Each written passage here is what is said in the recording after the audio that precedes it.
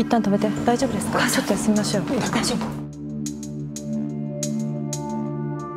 次の取材これ軸にする。で奥に潜む問題をあぶり出す。根も葉もない噂流されてね。誰が本当の加害者か。報道が殺したんですよ。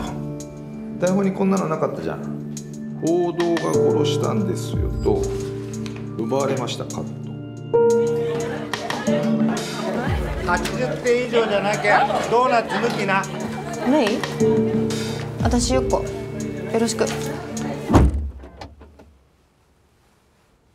うしたの？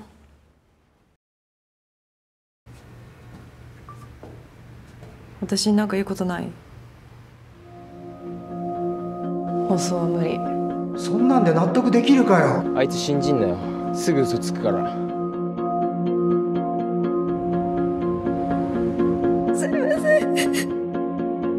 根 本的な解決じゃないよね。